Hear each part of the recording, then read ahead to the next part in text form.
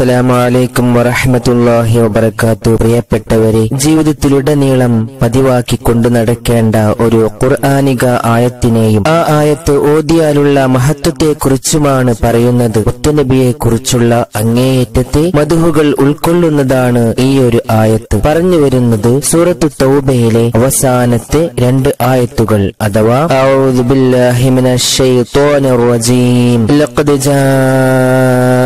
جاءكم رسول من أنفسكم عزيز عليه ما عنتم حريص عليكم بالمؤمنين رؤوف رحيم فإن تولوا فقل حسبي الله لا إله إلا هو عليه توكلت وهو رب العرش العظيم ഈ രണ്ട് ആയത്തുകൾ ചൊല്ലാത്ത ഒരു ദിവസവും നമ്മളിൽ നിന്ന് ഉണ്ടാകരുത് മറക്കാതെ മുടങ്ങാതെ നമ്മൾ ഈ രണ്ട് ആയത്തുകൾ ചൊല്ലിപ്പോരുക തൗബ സൂറത്തിലെ ആയത്തുകൾ ആയതിനാൽ ബിസ്മി ചൊല്ലാതെ ഔദ് ചൊല്ലിക്കൊണ്ട് ആണ് ഈ ആയത്തുകൾ ചൊല്ലേണ്ടത്. ഒരുപാട് തവണ ഈ ആയത്തുകൾ ചൊല്ലുകയാണെങ്കിൽ ആദ്യത്തെ പ്രാവശ്യം മാത്രം കൊണ്ട് തുടങ്ങിയാൽ മതി. പ്രിയപ്പെട്ടവരെ ഓരോ ഫർൾ നിസ്കാര ശേഷവും ഈ രണ്ട് ആയത്തുകൾ ഏഴ് തവണ വീതം ചൊല്ലി വന്നാൽ ചൊല്ലുന്ന ആൾ ദുർബലനാണെങ്കിൽ കരുത്തനാകും. നിന്നനാണെങ്കിൽ ശ്രേഷ്ഠനാകും. തോറ്റവരാണെങ്കിൽ വിജയിക്കും. പ്രയാസം അനുഭവിക്കുന്നവന്റെ പ്രയാസങ്ങൾ തീരും. കടമുണ്ടെങ്കിൽ കടം വീടും